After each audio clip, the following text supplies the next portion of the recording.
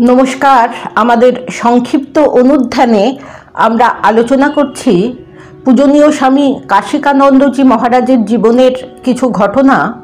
স্মৃতিচারণ করেছেন রামকৃষ্ণ মঠ মিশনের সংঘ অধ্যক্ষ পরম পূজ্যপাদ স্বামী প্রমেয়ানন্দজি মহারাজ। গতকাল আমরা কয়েকটি ঘটনা আলোচনা করেছি। আজ অনুষ্ঠিত হচ্ছে পরবর্তী পর্ব। আমরা আলোচনা করেছি যে সাধু হবার উদ্দেশ্যে পায়ে হেঁটে কাশিকানন্দ মহারাজ কাশিতে পৌঁছেছিলেন, অসুস্থ হয়ে পড়েছিলেন এবং তাকে বারাণসীতে রামকৃষ্ণ মিশন হাসপাতালে ভর্তি করা হয়েছিল। সেই সময় বারাণসী রামকৃষ্ণ মিশন সেবাশ্রমের মহন্ত ছিলেন স্বামী অসীমাত্মানন্দজি তিনি মাঝে মাঝেই হাসপাতাল ওয়ার্ডে সব রুগীদের কাছে গিয়ে তাদের খবর নিতেন। একদিন এই রকম ঘুরতে ঘুরতে অসীমাত্মানন্দজি কাশিকানন্দজি মহারাজের কাছে এসে খবর নিলেন এবং কথায় কথায় তার বাড়ি কোথায়, কেনই বা বারাণসী এলেন এইসব জিজ্ঞাসা করলেন।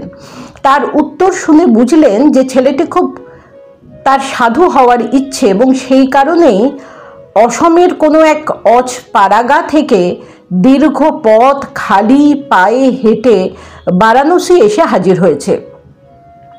ছেলেটি আবার তাকে জিজ্ঞাসা করল, কোথায় গেলে সাধু হওয়া যায়? কাকে বললে সন্ন্যাস পাওয়া যায়? শুনে অসীমাত্মানন্দজি বলেছিলেন, এই আমাদের দেখে তোমার কি মনে হয়? ছেলেটি বলল, এটি সন্ন্যাসীদের কাপড়। শুনে অসীমাত্মানন্দজি বলেছিলেন, তাহলে আমরা সন্ন্যাসী। এখান থেকেও সন্ন্যাসী হওয়া যায়। ব্যাস, এই উত্তরই ছেলেটির জীবনের মোড় ঘুরে গিয়েছিল। কাশিকানন্দজি পরে বলেছিলেন, সে সময় থেকেই আমি রামকৃষ্ণ মিশনে বাস করতে শুরু করলাম। এখনও পর্যন্ত এখানে রয়েছি। যাই হোক, সম্পূর্ণ সুস্থ হওয়ার পর তিনি হাসপাতাল থেকে ছাড়া পেয়ে সেই সেবাশ্রমেই থেকে গেলেন। ধীরে ধীরে বাংলা ভাষাও শিখে ফেললেন। সেবা করতে করতে অন্যান্য সাধুর মতো তিনি বিশেষজ্ঞ হয়ে উঠলেন। তার সুঠাম চেহারার জন্যে তিনি প্রচণ্ড খাটতে পারতেন। বারাণসী সেবাশ্রমে সাধুদের সঙ্গে থাকতে থাকতে কাশিকানন্দজি ঠাকুর মা স্বামীজির সম্বন্ধে জানতে পারলেন।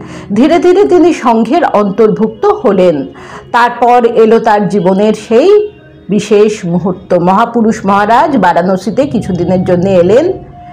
একই ক্যাম্পাসের মধ্যে আমাদের দুটি আশ্রম, অর্থাৎ কাশীর কথা বলছেন প্রমেয়ানন্দজি, একটি সেবাশ্রম, অপরটি অদ্বৈত আশ্রম। মহাপুরুষ মহারাজ অদ্বৈত আশ্রমেই থাকতেন।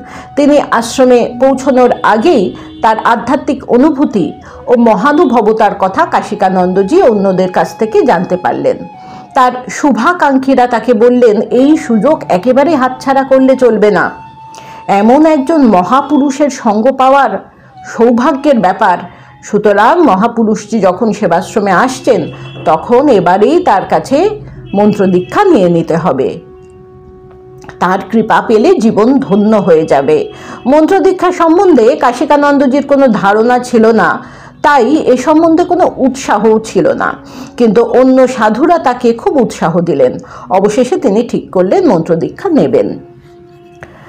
তারা বললেন, তার সঙ্গীরা, দেখো, মহাপুরুষ মহারাজ, মঠে এলে তার সঙ্গে দেখা করে প্রাণ খুলে তার কাছে আধ্যাত্মিক জীবনে উন্নতির জন্য প্রার্থনা করবে। তাকে সাষ্টাঙ্গে প্রণাম করে মন্ত্রদীক্ষার জন্য কৃপা প্রার্থনা করবে। হাসপাতালের পোশাকেই তার কাছে যাবে। কাশিকানন্দজি সেদিনের ঘটনা প্রসঙ্গে বলেছিলেন, আমি তাদের কথাগুলি অক্ষরে অক্ষরে পালন করেছিলাম। একদিন হাসপাতালের কাজ শেষ করে একই পোশাকে পূজনীয় মহারাজের কাছে গিয়ে উপস্থিত হলাম। মহারাজ তখন অদ্বৈত আশ্রমে ঘরের বাইরে দাঁড়িয়েছিলেন। আমি গিয়ে এই অদ্ভুত পোশাকে সাষ্টাঙ্গ প্রণাম করলে তা বুঝতে বাকি রইল না যে এর পিছনে কোনো উদ্দেশ্য আছে। তার চাউনি দেখেই আমার যেন মনে হলো বোধহয় কিছু ভুল করে ফেলেছি। যারা আমাকে এ কাজে উৎসাহিত করেছিলেন সেই সাধু ও ব্রহ্মচারীরা একটু দূরে দাঁড়িয়ে দাঁড়িয়ে মজা দেখছিলেন। যাই হোক, মহাপুরুষ মহারাজ, হালকাভাবেই নিলেন এবং আমাকে আশীর্বাদ করলেন। পরে আমি মহাপুরুষ মহারাজের কাছে মন্ত্র দীক্ষা পেলাম। কাশিকানন্দজি তার দীর্ঘ সংঘ জীবনে রামকৃষ্ণ মিশনের কয়েকটি শাখা কেন্দ্রে সেবা করেছেন। তার কাজের মধ্যে যে আন্তরিকতা দেখা যেত সেটি সবার মধ্যে দেখা যেত না। গুণগত মান ছিল শেখার মতো, তার ভালোবাসা, সহানুভূতি সকলের উপর সমানভাবে ছিল। এমনকি হয়তো কেউ বাইরে থেকে মঠ দেখতে এসেছে, তার প্রতিও তার সমান ব্যবহার ছিল। তিনি নিজে সকলকে ভালোবাসতেন বলেই তিনি সর্বত্র ভালোবাসাও পেয়েছেন। কাশিকানন্দজি কর্মবিরতির জীবন বেলুর মঠেই কাটিয়েছিলেন। মঠে থাকাকালীন তার গলায় ক্ষত ক্যান্সারের রূপ নেয়। তখন ক্যান্সারের চিকিৎসা কিছুই ছিল না, ফলে ভীষণ যন্ত্রণা ভোগ করতে হতো তাকে। কিন্তু তিনি যখন কষ্টের দিকে নজর দিতেন না, কখনোই তিনি কষ্টের দিকে নজর দিতেন না। তিনি শারীরিক ও মানসিকভাবে এতই শক্ত ছিলেন যে ক্যান্সার তাকে কাবু করতে পারেনি। প্রমেয়ানন্দ যে বলছেন, তার জীবনের আরেকটি ঘটনার কথা উল্লেখ করব। কাশিকানন্দজির শরীর যাওয়ার দু তিন বছর আগের কথা, বেলুর মঠে বৃদ্ধ এবং অবসরপ্রাপ্ত সাধুদের থাকার জন্যে একটি আলাদা জায়গা আছে, তার নাম আরোগ্য ভবন। কাশিকানন্দজি তখন আরোগ্য ভবনে আছেন।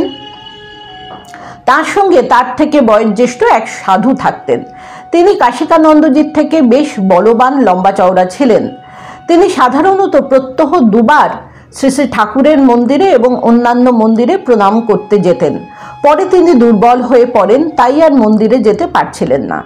কিন্তু তার খুব ইচ্ছা ছিল অন্তত দিনে একবার শ্রী শ্রী ঠাকুরের মন্দিরে গিয়ে প্রণাম করবেন। আরোগ্য ভবন থেকে মন্দির বেশ কিছুটা দূর, আবার বেশ কয়েকটি সিঁড়ি উঠতে হয়। এই অসুস্থ শরীরে তার পক্ষে যাওয়া সত্যিই অসম্ভব।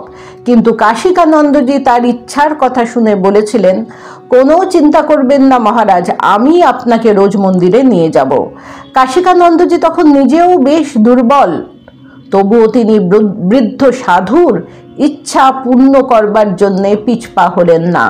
প্রত্যহ সকালে অবিশ্বাস্যভাবে আমরা দেখতাম প্রমেয়ানন্দজি বলছেন, সেই বৃদ্ধা, সেই বৃদ্ধ সাধু কাশিকানন্দজির পিঠে চেপে শ্রী শ্রী ঠাকুর দর্শনে যাচ্ছেন। এ যেন এক স্বর্গীয় দৃশ্য, এসব কথা ভোলার নয়। কি অদ্ভুত সব সাধু আমরা দেখেছি। এই সব সাধু তাদের জীবনের কৃচ্ছ সাধন, তাদের অসাধারণ জীবনের কিছু ঘটনা প্রতি মুহূর্তে আমাদের অনুপ্রেরণা প্রদান করে। নমস্কার। प्राणाराम प्राणाराम प्राणा